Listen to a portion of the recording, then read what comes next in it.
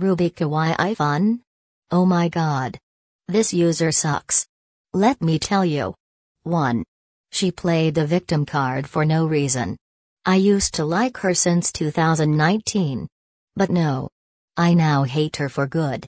And she has gone way too far. And she did something wrong. She has done many weird stuff in the past. And she still does it by the way. 2. She can't handle dislikes. According to Sapphire Rosie Pastel Star.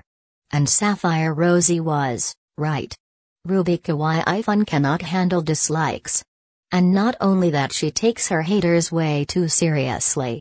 Bruh you should know that taking your haters way too seriously is wrong and that proves you're a troll feeder. 3. She is a woman child. And not to mention she attacks my allies to begin with. 4. Not only that. But she treats everyone into joining her army against her haters. Proving she can't handle hate. Bruh. This proves you can't handle people not joining you. And not supporting you. You need deal with people that do not trust you. And that proves you're a Wilson Perez wannabe. And Seb's World of Fun wannabe. I hope this user gets terminated soon. I don't know who likes or hates this user. So I am gonna leave it be. So screw Ruby Kawaii Fun.